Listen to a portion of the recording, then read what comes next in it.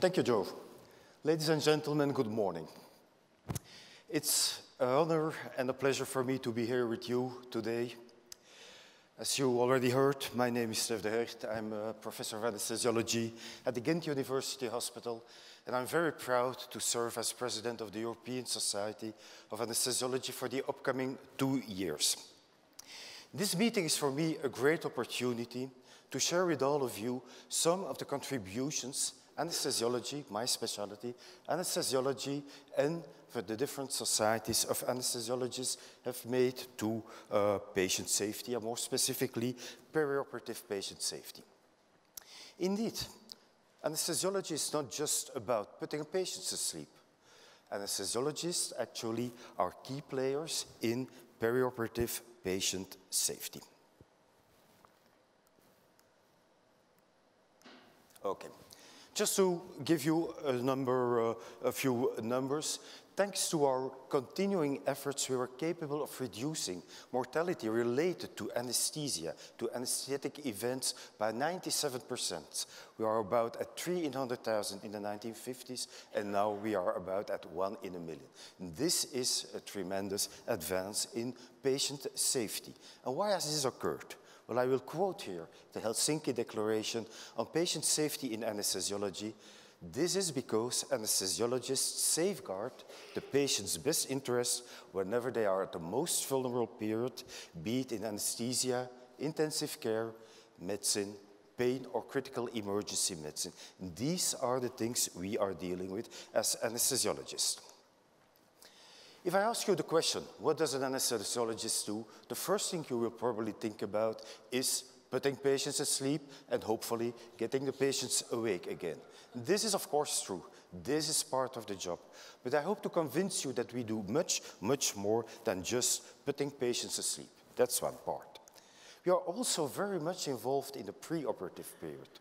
This means a period before anesthesia, we look at the patients, we discuss with the patients, and based on the entire picture, the physical condition of the patient, the circumstances wherein the patients live, we develop an anesthetic strategy, a perioperative strategy that will make sure that this patient has the safest procedure that one can imagine and deserve, of course. And even more important, we are also responsible for the postoperative phase. The trajectory is not finished after that the patient has gone, undergone surgery and has waken up. There is a whole period, at least 24 to 48 hours, where we need to take control of the patient. I will show you a few examples later on where you will see that this is a very important part of our uh, profession as anesthesiologists. But let's start with the um, intraoperative phase, the phase of the operation and the anesthesia, anesthesia itself. Let me tell you a brief story of a young guy that came in our day clinic a few months ago. Let's call him Mr. F. Mr. F is a 30-year-old male who suffers from a condition which we call chronic hidradenitis suppurativa, which means that there are suppurating boils in his skin, and they need to be removed. Mr. F has already undergone this operation a few times before, so we can know his condition. And you might uh, be interested to know that Mr. K, uh, Mr. F has become the proud father of a little girl two weeks before, and he has also another child, a two-year and a half boy.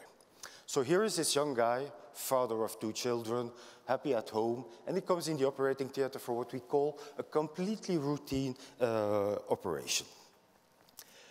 Everything goes smoothly, there are no delays, so from administrative point of view, we are completely clear for a routine operation without any problems, takeoff, landing without any problems. So the guy, the man is brought in the operating theater where the attending anesthesiological team is waiting for him. The attending anesthesiology team is myself, a supervising anesthesiologist, a young trainee third year, so he's already capable of doing things, and the nurse assistant.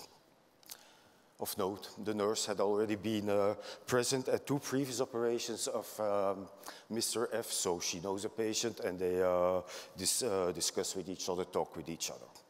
We do the preoperative checklist. Nothing wrong to see, everything is okay. And we start the induction. Because it's a routine case, I tell my assistant, my trainee, it's good, you're capable of doing it. I, uh, I leave it up to you and I will be uh, here uh, looking at you and uh, sitting next to you. And it starts. Give the injection, what we expect, all to be normal. And then almost immediately after the administration of the anesthetic drugs, Mr. F develops big, big problems. And because if Mr. F develops problems, this means that we as anesthesiological team are also in trouble. What is happening? He starts to convulse. His blood pressure drops. There is nothing we can imagine what happened. We use completely the same drugs as uh, have been used before. So we rule more or less out an allergic reaction to these drugs. But what is the cause? Is it a cardiac arrest? Possibly. But the problem is that because of convulsions, we cannot rely on the, on, the, on the monitoring, on the blood pressure, on the ECG, on the pulse oximeter. So we really don't know what is happening. And here you are with a complete anesthetic team dealing with a catastrophe in this young man without knowing what to do, so-called without knowing what is the cause. Well, luckily for us, we have, uh, thanks to the uh, anesthesiological societies, we have guidelines. We have standing operating procedures. Here you see an example of such an algorithm that helps you to uh, react to uh, such situations, even complete unexpected situation. You just follow the situations, uh, you just follow the, the guidelines, and you know what to do. And here, that's what we did. What is the first direction in the guidelines? It say call for help. And that's what we did. Call for help, and then we started the resuscitation. Now, I will leave you the story uh, of Mr. F for a few minutes and tell you later on what happened with him. What do I want to underscore with this example? Well, no matter how many times you check and you recheck the, uh, the equipment, the condition of the patient, it's not, you can never exclude that at a certain moment a complete routine scenario turns out into a disaster scenario. Some people like to compare what is happening in anesthesia with what is happening in the aviation industry. That's okay. We know that from the aviation industry, the introduction of very rigorous checklists have resulted in a dramatic decrease in uh, airplane crashes and airplane accidents. And actually, we do more or less the same. We have our checklist, we control everything, and we can diminish the incidents occurring by uh, wrong medication, by equipment failure, and so on. But what people tend to uh, forget is that a patient is not a machine. Biological systems are infinitely more complicated and more unpredictable than machines, than planes. So you cannot uh, make the entire uh, parallel with, uh, with the aviation industry. Okay.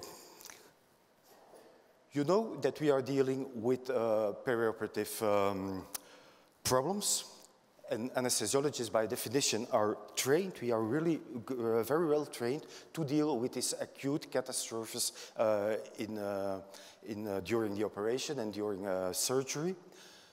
The problem is that this knowledge of a catastrophe that hangs above you is present is an important psychological burden to the um, to the entire team. And therefore, it's very important that the team, but also the patient and also the uh, relatives of the patient know that anesthesiologists are trained doctors and that the anesthesiology team is a trained team. So they are capable of dealing with all potential catastrophes.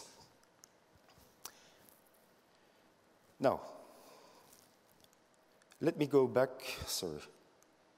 Let me go back to Mr. F. What is a thing you probably remind you of Mr. F? For all the details I have given you.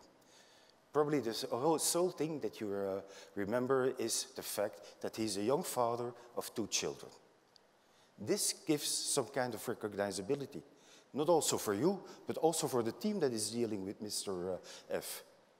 You need to take into account that my nurse and my assistant had the same age. So for them, it's a really psychological burden to see that this guy is developing problems. They could be in the same situation. They can easily imagine that they are in the same situation.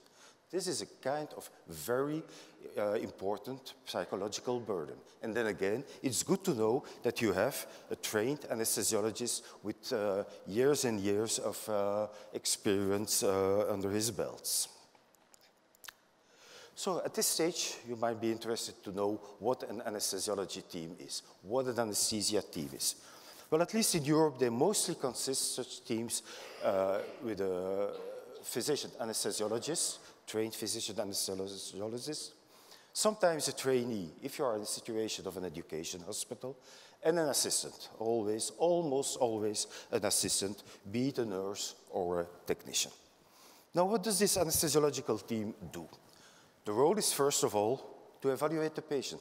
Before you start or before we start the operation, the anesthesia, we know the patient. We know all the uh, medical history of the patients. We know the diseases of the patients, the medication, and so on.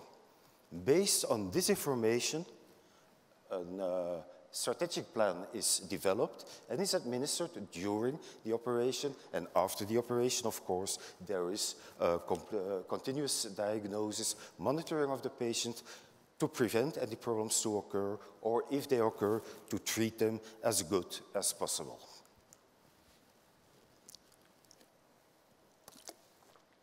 So you have this team. This team is, of course, very good to treat the patients, but it also is a unique opportunity to give education and training to the next generation of anesthesiologists.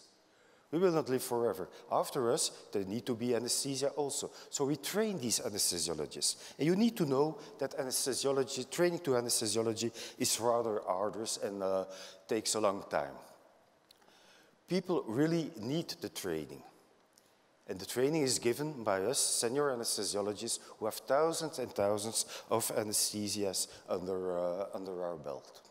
But in addition to this training, to this demonstration on how to work, to this education bit to, uh, at bedside, there is also need for continuous medical education.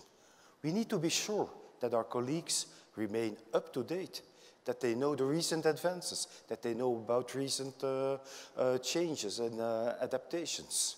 And there is a place where anesthesiological societies can play an important role, not can play, play indeed a very important role.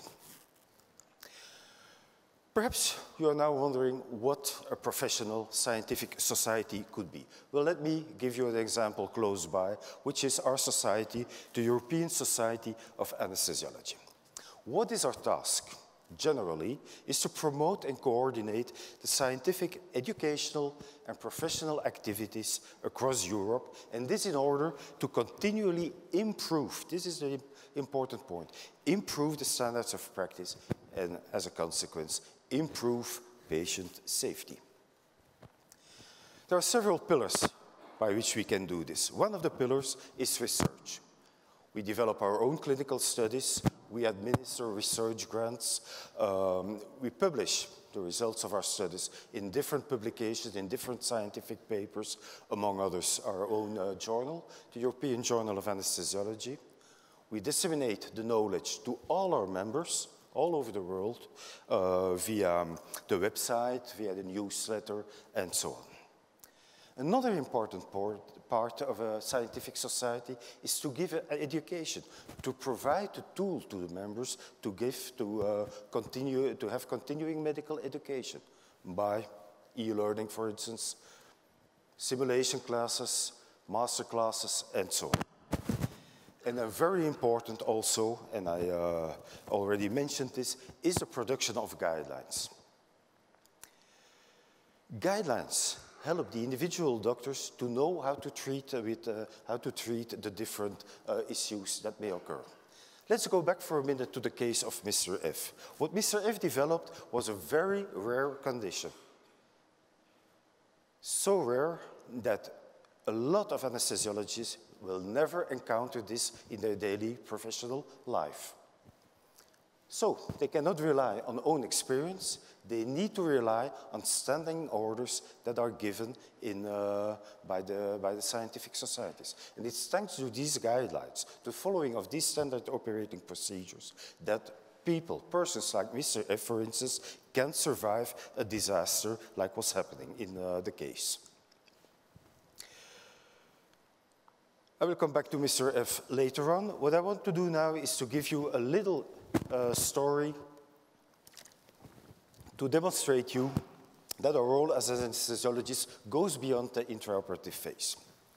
We are also responsible for the preoperative and the postoperative period, like I already said before. The case I want to, uh, uh, to um, give you is uh, the case of Mrs. K. Mrs. K is an 80-year-old lady who needs to undergo a second hip replacement because of arthrosis.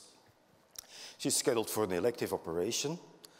She lives together with her husband, but the husband has been diagnosed with Alzheimer's disease a few months ago. So actually, she's the one who needs to take care of her husband. The couple is capable of still living at home. They have some domestic help, some social help twice a week, but they can live more or less independently at home. They have a daughter living abroad, so not available, and there are also no other relatives to take care of them or to help them if there is a problem. Like almost all persons of about 80 years, Mrs. K has some additional comorbidities, other diseases that are present. She's hypertensive, she has type 2 diabetes, hypercholesterolemia, and because of all these conditions, she needs to take a lot of medication, what we call polypharmacy. So Mrs. K, even if she's independent uh, living, she is still a rather per, uh, person which is uh, significantly at risk. And because of this, the increased risk and the age of the patient, she's uh, referred to the preoperative anesthesiology clinic. And what does she see? Do we see there?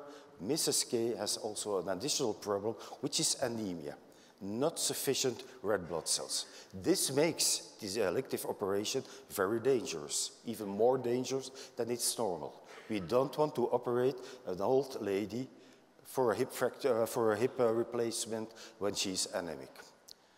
So the anesthesiologist takes a very wise decision, says, I will postpone this operation for six weeks and we will try to optimize Mrs. K by giving her some iron, uh, to, uh, to increase uh, the red blood cell count. This is done. After six weeks, it appears that uh, um, it appears that the blood tests are completely normal and Mrs. K gets her operation without any problem.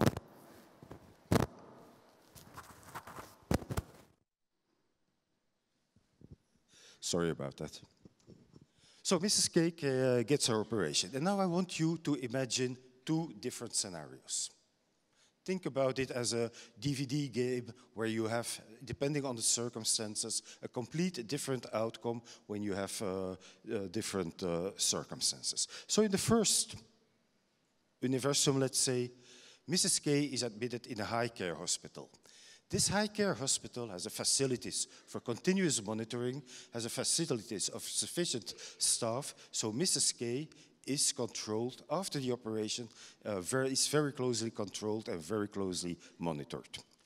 Now, in the middle of the night, Mrs. K develops bleeding, heavy bleeding at the level of the operation wound. What happens? She starts to bleed, she gets hypotensive, saturation decrease, and the consequence is, because she's monitored, that the monitors go in alarm. Immediately, there is the attending staff. Mrs. K is treated promptly, and there is no problem at all. Everything is okay. She can leave the ward the day after and the hospital a week, a week later, back to her husband to take care of him. Now imagine an alternative, parallel universe, where Mrs. K is not in the high care hospital, but she's in a low care hospital. This hospital or this situation has no resources or very little resources.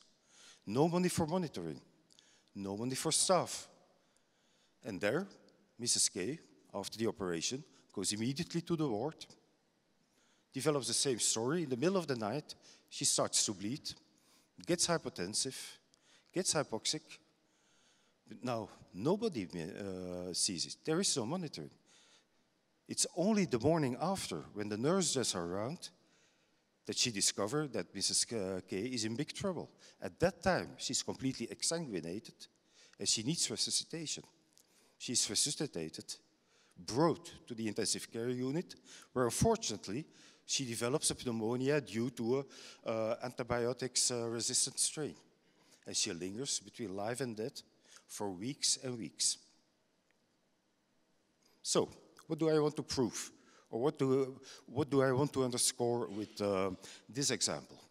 First of all, preoperatively, there is the importance of the highly tailored uh, care. I've shown you that Mrs. K has a lot of comorbidities and that these comorbidities need to be taken into account. We decided to postpone the operation to optimize her, uh, her blood count, to prevent any transfusion to, uh, to occur. So this is an active action taken by an anesthesiologist.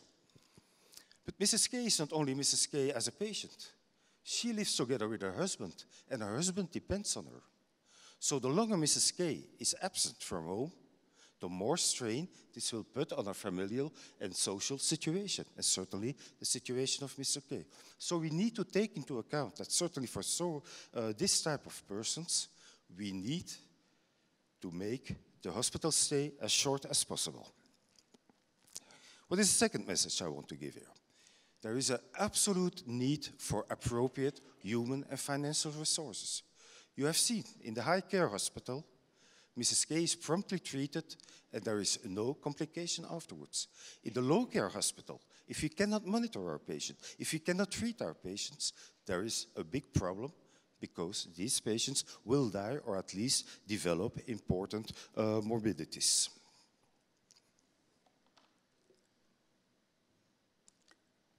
So, you might be curious to know what happened with uh, two patients I presented to you. Well, Mr. F, Mr. F survived. He was diagnosed. Uh, we resuscitated him successfully. And apparently, the, from the clinical, um, the clinical picture and the blood uh, values, it appeared that he has developed an anaphylactic shock. So he had the fourth time that the medication was used, he had developed one of the agents that we use, an anaphylactic shock. He could leave the hospital the day after and is living happy with his family and with his two children. What happened to Mrs. K? Well, Mrs. K is a little bit a composite character.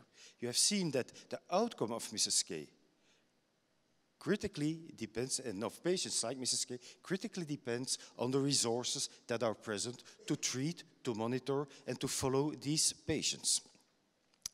So I come back to my initial point. What is the role of anesthesiologists in perioperative safety, in perioperative patient safety? Well, I hope I have convinced you that we play a role preoperatively intraoperatively and postoperatively. And it is this integrated approach that makes it possible for us as anesthesiologists to take care of the patients and to give the patients a safe perioperative course. And societies try to uh, continue to even improve this patient safety by working together with other anesthesiological societies, other anesthesiology group, healthcare professionals, institutions, patient associations, and with you, the public. And it's only in this way that we are capable of improving perioperative patient safety for the sake of all of future patients. Thank you very, very much.